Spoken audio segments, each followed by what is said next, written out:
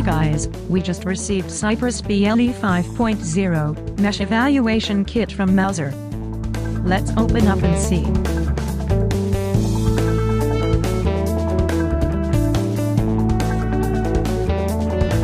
And here we go.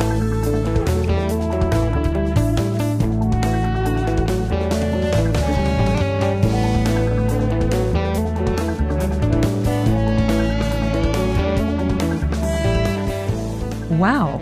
The boards are packed so well. Here we have a quick start guide. The kit comes with 4 boards and 4 USB Type-A to Micro B cable.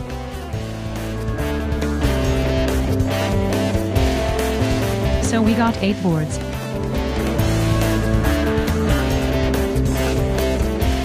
Let's take a look on it.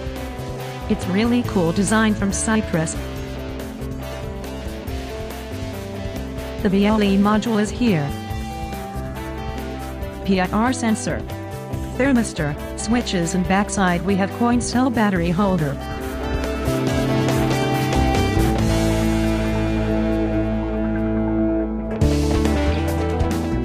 Let's power up via USB connector. We could see that RGB LED starts blinking.